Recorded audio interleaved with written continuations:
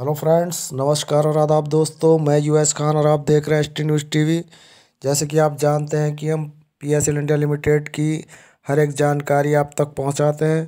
तो दोस्तों, कल हमने एक वीडियो बनाई थी जिसमें हमने P S L India Limited के सीनियर एजेंट से बात की, यानी कि जो एजेंट के ऊपर होते हैं फ़ील्ड ऑफिसर ऑर्गेनाइज़र उनसे हमने बात की।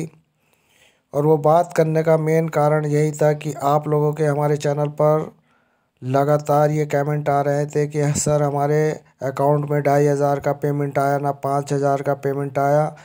ऐसे ही न जाने कितने कमेंट हमारे चैनल पर इस वक्त भरमार आ रही थी, क्योंकि प्रोसीजर से विभाग का चालू है, लेकिन निवेशकों के पास प्रोसीजर चालू होने के बाद भी पैसा नहीं मिल पा रहा, यानी कि उनके अकाउंट में नहीं आ पा रहा। हम बात कर रहे हैं ढाई हज़ार, पाँच हज़ार और सात हज़ार और दस हज़ार तक की। तो दोस्तों, इन सब परेशानियों को देखते हुए हमने संपर्क साधा P S L India Limited के एक फ़ील्ड ऑफिसर, यानी ऑर्गेनाइज़र रैंक के एक अधिकारी से उससे हमने बात की। हमने कहा, सर, आपकी कंपनी के जो पीड़ित निवेशक हैं, उन निवेशकों की क्या सिचुएशन चल रही है? क्या उनका पैसा ढाई हज़ार, पाँच हज़ार और दस हज़ार की प्रक्रिया में किसी का आया?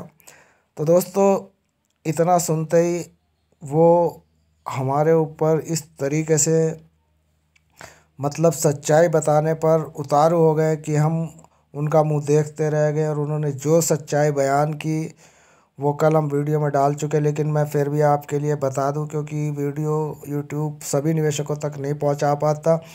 तो दोस्तों, अगर वो वीडियो आपने नहीं देखी है तो कोई बात नहीं, मैं बता देता हूँ, उसमें हम, हमने विजय सर से बात की थी, जो P S L India Limited में नौ साल से अपने कार, कार्य को कर रहे थे, लेकिन कंपनी के बंद होने के बाद वो घर पर ही बैठे, अपने दुकान चला रहे हैं।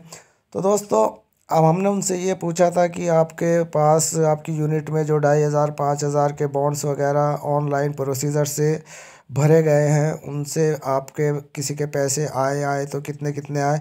उन्होंने कहा कि हमारे पास किसी भी यूनिट के किसी के ढाई हज़ार, पाँच हज़ार या दस हज़ार वालों का कोई पैसा नहीं आया। और उन्होंने कहा यहाँ तक कि मैंने जो अपने अपने खुद के कस्टमर थे, जो उनके अपने बनाए हुई कस्टमर थे, उनका भी पैसा उन अकाउंट में नहीं आया। उन्होंने कहा कि ना ढाई हज़ार वाली में आया, ना पाँच हज़ार वाली, ना मैं सात, ना आठ, ना दस।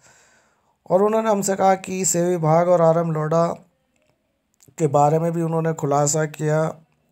उन्होंने कहा, ये ऑनलाइन प्रोसीजर से निवेशकों को गुमराह किया जा रहा है, क्योंकि निवेशक जिनके पास पैसा नहीं आ रहा, जैसे हम लोगों के पास पैसा नहीं आया अब हम बात करें तो किससे करें? ऑफ़िस बंद हैं और ऑफिसों से हमारी समस्या का समाधान हो जाता था, लेकिन अब ऑनलाइन प्रोसीजर चालू है। आपने बॉन्ड सबमिट कर दिया, चाहे वो सही किया है, तब भी पैसा नहीं आ रहा और गलत जो किया उनका तो आना ही नहीं है।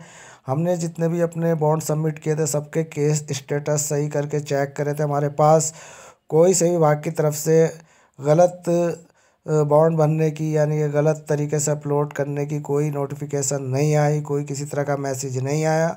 उसके बावजूद भी ना जाने क्यों हम लोगों के पास पैसा नहीं आया। अब हम लोग कई साल से इंतज़ार कर रहे थे, पैसों का प्रोसीजर शुरू हुआ तो उसमें हमारे साथ गुमराह, गुमराही की जा रही है सेव विभाग और आराम लोडा की तरफ़ से, क्योंकि यहाँ पर केवल बारह लाख निवेशकों को ही पैसा देने का एक नोटिफिकेशन सेव विभाग की तरफ़ से आई थी। उस नोटिफिकेशन में ढाई हज़ार, पाँच हज़ार छः हज़ार, सात हज़ार और दस हज़ार तक के निवेशकों का पैसा देना दिखाया गया है। तो उन्होंने कहा कि ये पैसा हम तक इसलिए नहीं आया क्योंकि इसकी संख्या पाँच करोड़ पचासी लाख है और इतने कम लोगों को पैसा दिया गया तो इस हिसाब से किसी राज्य में इक्का दुक्का पहुँच गए होंगे, लेकिन हमारे पास कोई किसी तरह का एक फूटी कौड़ी किसी के अकाउंट में नहीं आई और अब हम हताश और निराश और परेशान इसलिए हैं क्योंकि ऑनलाइन प्रोसीजर में अगर हमारा पैसा रुका हुआ है तो हम अपनी शिकायत करें तो कहाँ करें, किससे हम गुहार लगाएँ, ऑफ़िस बंद हैं और ऑफ़िस के साथ साथ जो P S L India Limited का मेज़रमेंट है, उनका भी इस वक्त जेल में बंद हैं, कुछ पता नहीं चल रहा कि आगे क्या होगा। तो इन सब परेशानियों को उन्होंने दर्शाते हुए हमें यही बताया कि अगर हमारा पैसा नहीं आया तो हम शिकायत करें तो कहाँ करें। से विभाग पे बात करते हैं, उनके पास केवल एक ही सूचना होती है कि पाँच हज़ार वालों का शुरू कर दिया, दस हज़ार वालों का और अगर हम पूछते हैं कि हमारा पैसा नहीं आया तो कहते हैं कि आप अपना केस स्टेटस चेक के, केस स्टेटस चेक करते हैं तो वो वेरीफाई आता है, बिल्कुल सही होता है, उसमें कोई कमी नहीं होती तो उसके बावजूद भी पैसा नहीं आ पा रहा।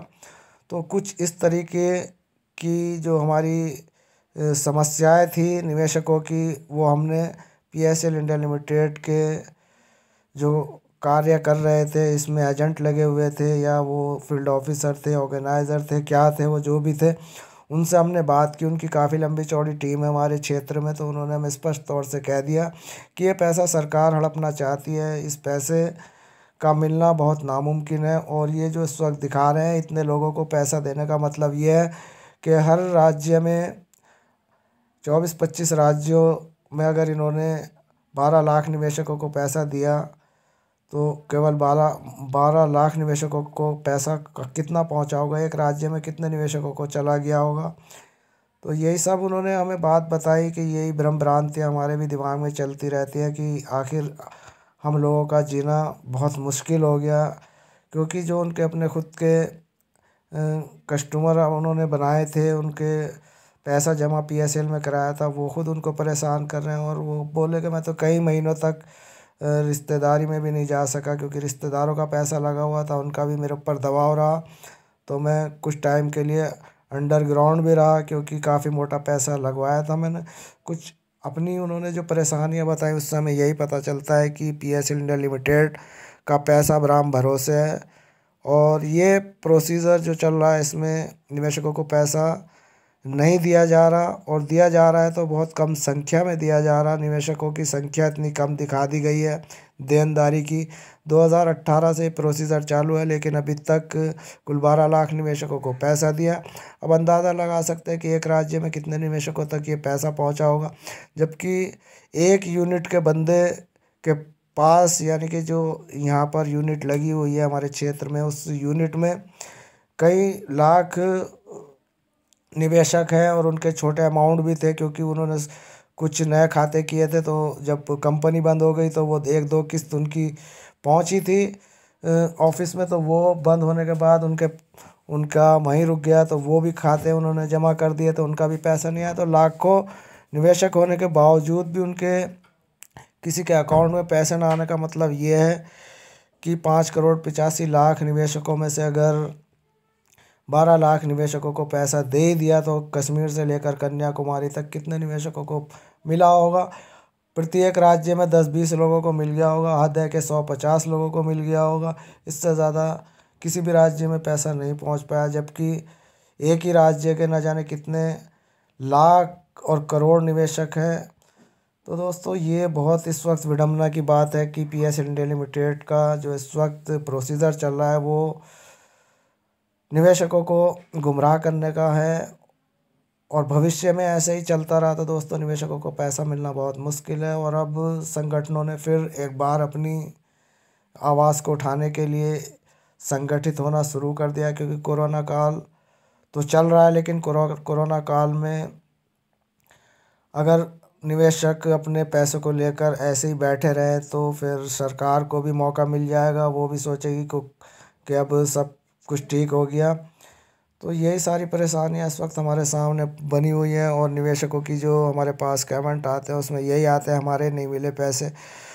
हर निवेशक यही कहता है कि मेरे भी नहीं मिले। तो दोस्तों, ऐसा कब तक भारतवर्ष में चलेगा, बस यही परेशानी हमारे सामने है। तो दोस्तों, ये आधी अधूरी वीडियो आपको पसंद आए तो चैनल को सब्सक्राइब और लाइक करना ना भूलें। साथ के साथ हमारी बेल आइकन का बटन दबाएँ ताकि हमारे द्वारा बनाई गई हर एक छोटी बड़ी लेटेस्ट न्यूज़ पहुँचे सबसे पहले आपके पास। धन्यवाद। जय हिंद, जय भारत। वंदे